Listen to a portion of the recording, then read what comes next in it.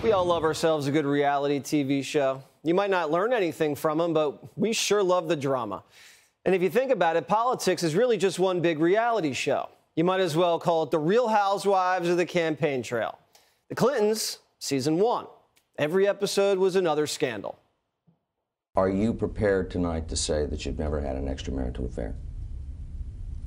I'm not prepared tonight to say that any married couple should ever discuss that with anyone but themselves. Season two gave us Barack and Michelle, the spunky new couple on the block who got off to a rocky start. Hope is making a comeback. It is making a comeback, and let me tell you something. For the first time in my adult lifetime, I'm really proud of my country. But as all reality shows do, after two seasons, you have to come up with new ways to keep the audience interested. So you throw in a little twist for season three a guy who's lost his mind and his poor wife who has to put up with it. By the way, this is my little sister Valerie, and I'm Jill's husband. Oh no, this is the. Oh, you switched on me. This is my wife. This is my sister. They switched on me. and it was their most popular season yet. They say it got over 81 million people hooked. The clueless husband plays president while his wife does her best to act like everything's normal. It's a double whammy entertainment and suspense. But they're making season four even crazier. Believe it or not, they found someone better than Joe to play the clueless husband role. And his name is John Fetterman, the guy who just had a stroke and is running for U.S. Senate. Send me to Washington, D.C. to send so I can work with Senator Casey and I can champion the union way of life in Jersey, in, excuse me, in D.C. Thank you, thank you very much, and it's an honor. I live eight minutes away from here, and when I leave tonight, I got three miles away, Dr. Oz in his mansion in New Jersey. Superfans like us at Primetime always look for clues you know, like little comments that tell us where the plot's going. And Joe Biden just gave us one. And John, thank you uh, very much for uh, for running. I really do appreciate it. And Zell, you're gonna you're gonna be a great uh, a great lady in the Senate. So it actually looks like Gisele is the candidate, not John. Earlier in the episode, she was seen pulling her husband away from reporters and doing all the talking. Watch. Mr. Fetterman, no. are, are, you satisfied with the progress of the bridge? All right. The bridge question was too much for John. So the real candidate had to step in. The real candidate later got a tour of the Air Force One, trying some presidential candy and taking pictures with the big guy from season three. Plus, she had to shake hands with the fans, win over some votes for herself. I mean, you know, for John. We don't know where John was all this afternoon, but that's the point because John's not really the star of the show here, and he never was. Now, you may have noticed I am not John Fetterman.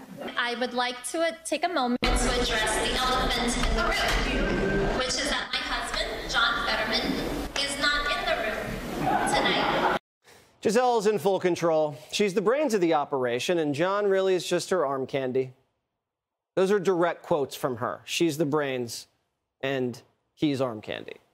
Now, watch the two of them interact and tell me if you notice something. Hey, everybody, it's John and Gisele. As you can see, we hit a little bump on the campaign trail. Um, yeah. It was on Friday. Uh, I just wasn't feeling very well, so I decided, you know what, I need to get checked out. So I, I went to the hospital. I you get checked out because yeah. I was right, as always.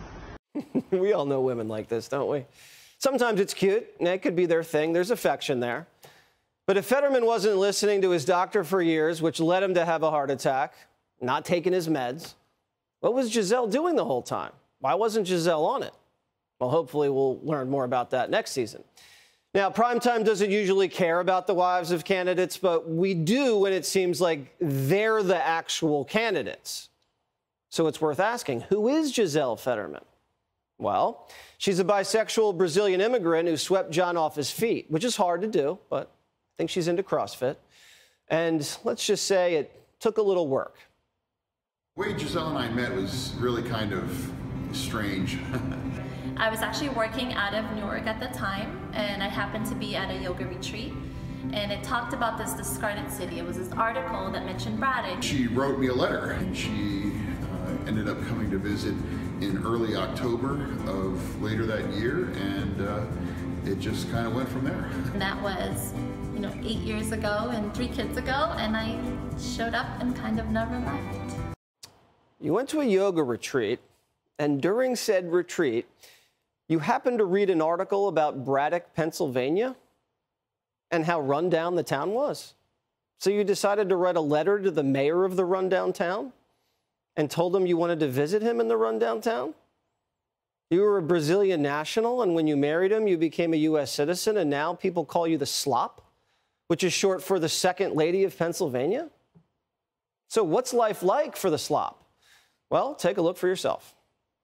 Gisele, where do you live? I live in a converted car dealership in Braddock, Pennsylvania. Cool. Is that a picture of your husband up there? I left his head on all of these because, you know, it's a public, a lot of people come here, so I thought that was nice. There's a lot to unpack here. She married a guy who was living with his parents, and then they moved into a converted car dealership, and now she's giving tours.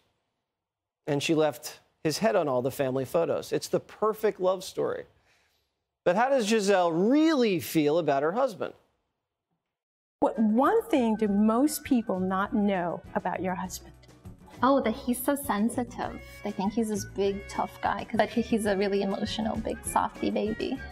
If you could reverse jobs with your husband, what would be the first law that you change in office? Um, well, he doesn't, he can't.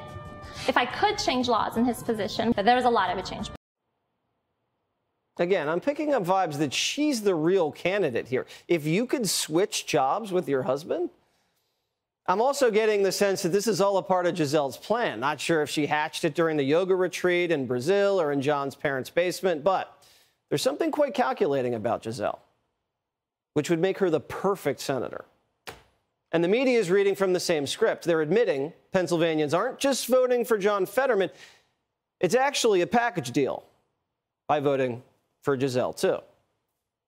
It's not just the candidate, but the couple that makes this campaign unconventional. If John is bringing the casual, his wife Gisele is bringing the polish and the personality. She's been front and center at rallies, on social media, and in campaign emails. How did that come about? How did you guys decide to really come as a package deal in this way? I think we are. I mean, our family is a package deal. And they're already selling her like she's the one on the ballot. The Washington Post is saying she's forging on through her husband's heated Senate race. And even Rolling Stone is calling her a, quote, unlikely political star. They say Fetterman only offers high fives and fist bumps to his supporters and repeats a gruff thank you. But it's Gisele staying just a pace ahead of her husband, who takes the questions, accepts the compliments, and carries on the conversations. Maybe this is what John meant when he said this. My name is John Fetterwoman. Isn't this the craziest season yet? So if John wins, Gisele's coming to D.C. Has the bisexual Brazilian immigrant been vetted? I doubt it, but that's the point. They'll vote with Schumer 100% of the time, and Gisele becomes the star. You'll see her on MSNBC every week on the cover of Vogue. When Hunter finds out she's bisexual, he'll make a run. I'm sure the Chinese already have a folder on her. Who knows? The Chinese may already hacked into his computer translator machine. I'm sure the FBI's all over that. She's definitely not a Brazilian Fang Fang. That would really make the next season interesting. Hey, Sean Hannity here. Hey, click here to subscribe to Fox News YouTube page and catch our hottest interviews and most compelling analysis. You will not get it anywhere else.